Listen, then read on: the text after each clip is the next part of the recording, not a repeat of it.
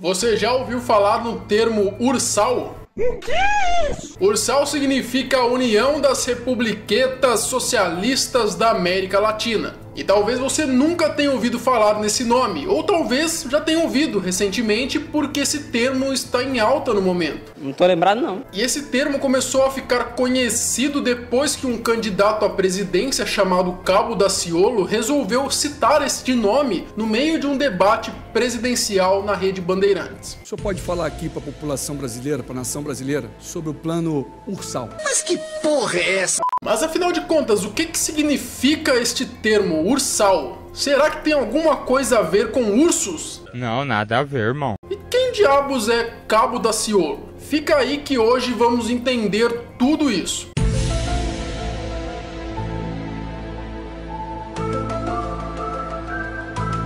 Semana passada foi ao ar pela rede Bandeirantes de televisão o primeiro debate presidencial de 2018. E presentes nesse debate estavam Marina Silva, Guilherme Boulos, Geraldo Alckmin, Jair Bolsonaro, Álvaro Dias, Ciro Gomes, Manuela da... Não, calma aí. Manuela Dávila não tava porque ela desistiu.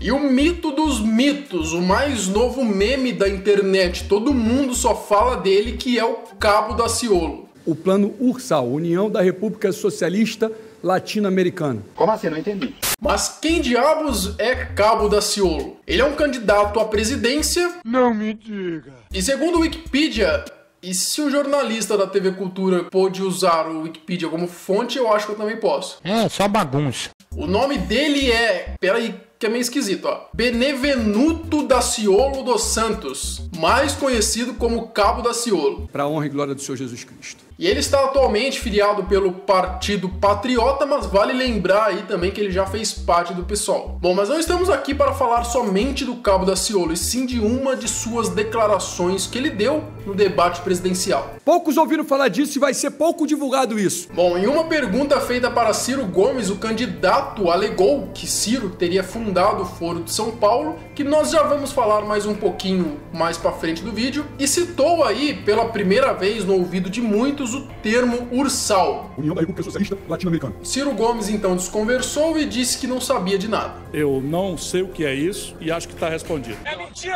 Bom, e segundo o próprio Cabo Daciolo, Ursal significa aí a união de todos os países da América Latina em um país só, como se fosse uma pátria só, tudo. Juntasse lá Venezuela, Bolívia, Cuba, Brasil, Argentina, tudo, e virasse uma, um país só. Mais ou menos como aconteceu na União Soviética há muito tempo atrás. Não, não, não, não, não.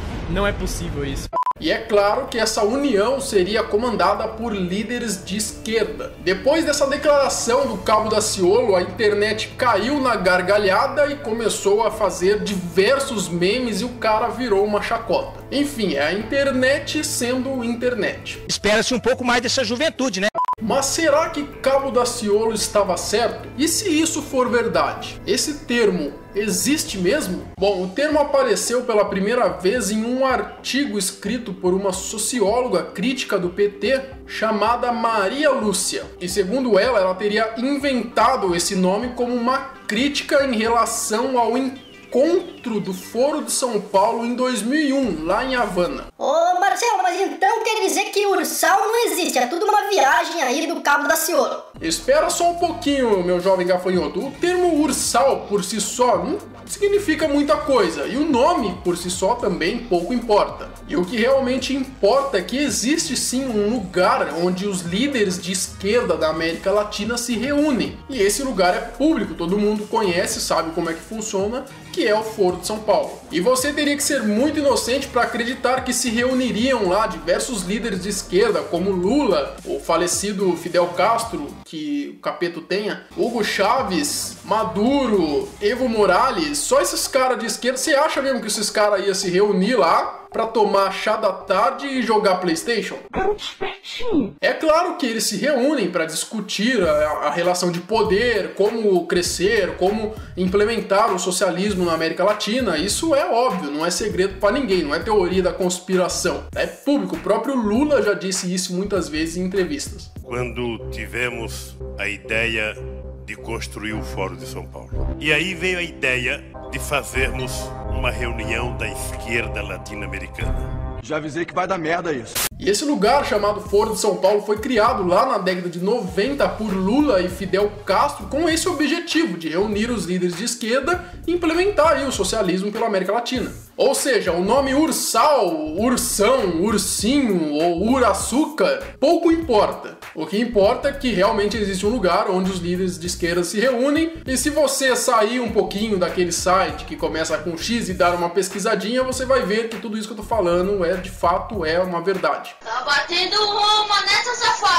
Não vai ser tão cedo que todos os países do mundo vão se unir e se tornar um país só e todo mundo vai começar a falar português. A língua universal continua sendo o inglês e como nós estamos na semana do inglês aqui do canal, eu venho lembrar vocês que as matrículas do curso de inglês do Júnior Silveira estão abertas para somente essa semana e tem vagas limitadas. Lembrando que você pode parcelar o curso que dura 10 meses no cartão e você tem acesso à plataforma de estudos por até 14 meses. Ah, Marcelo, mas eu não tenho dinheiro. Você que é um pobretão, você que não tem no cu que um priquito roa. Como eu disse, galera, esse curso é realmente para quem quer aprender inglês, porque se você for pagar um curso numa escolinha tradicional, você vai gastar muito mais, eu tenho certeza que não vai aprender nem a metade do que iria aprender nesse curso. Porque é claro, o Júnior tem uma metodologia totalmente diferente da metodologia engessada que é aplicada pela maioria das escolas de inglês. E o bom é que você tem 15 dias de garantia, e se por acaso você não gostar do curso, que não vai acontecer, é claro, você pode pedir o seu dinheiro de volta. Bom, então para adquirir o curso, não esquece de clicar aqui no link que vai estar na descrição, assiste o vídeo aí que o Júnior Silveira preparou explicando mais um pouquinho, e quem comprar o curso me avisa pra gente criar um grupo lá no WhatsApp pra gente poder estudar junto, beleza?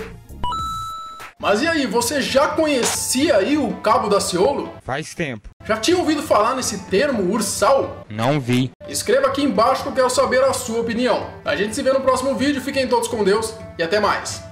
Tchau!